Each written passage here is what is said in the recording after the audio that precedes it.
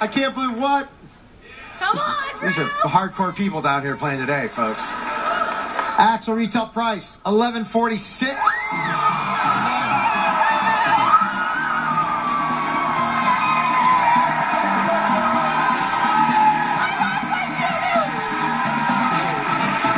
Hi, Amanda. You? Nice to see you. Look at you. Got your prices right shirt on. I do. Smiling, ready to go. I, I bet we have something nice for it, George. What do we got? Forget about it, Amanda. How about a trip to beautiful Italy?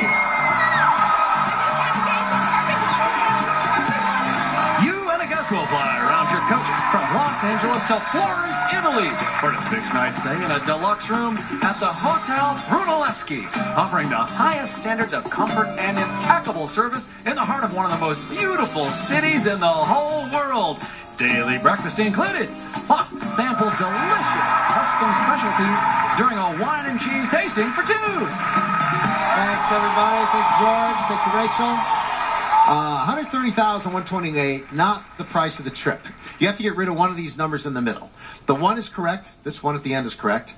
The eight way over here is correct. You have to get rid of the three, the zero, the one, or the two to make it the correct price.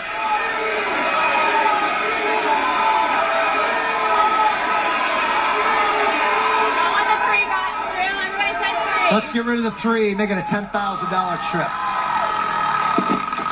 Any other number makes it a $13,000 trip. So let's go for a $10,000 trip. You ready?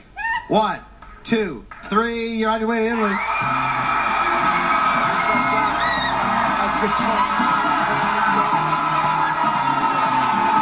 On the way to Italy. Heard a guess. Maybe your fiance, maybe, maybe not. I don't know. They'll work it out. We'll be right back more right after this. Don't go away.